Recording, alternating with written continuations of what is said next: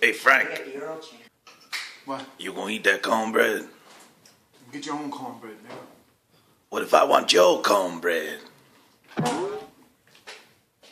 gonna have to step outside I ain't giving my cornbread to nobody.